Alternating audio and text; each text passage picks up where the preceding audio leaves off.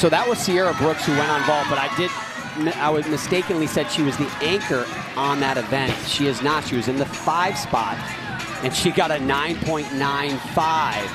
Abby Heiskell is yet to go for Michigan. And she is capable of a 10, has gotten a 10 as we see Jordan Bowers on balance beam now for the Sooners. Third gymnast up there.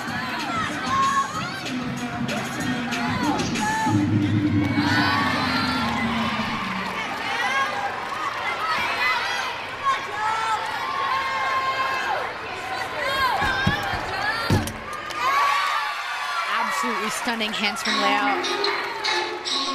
Jordan Bowers is a very good beam worker, however, did not get in the all-around competition all that often last season, as I mentioned earlier, because of balance beam and a little bit of her confidence on balance beam. Got in today because of Kat LeVasseur's injury and certainly looks to be making the most of it right now.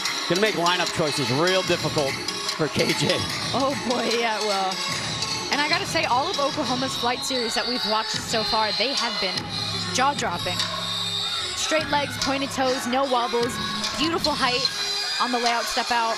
Here comes the dismount. Tiny, tiny, tiny, tiny little step. You're saying it was a small. You're saying it was a small step. The tiniest. What's the deduction for a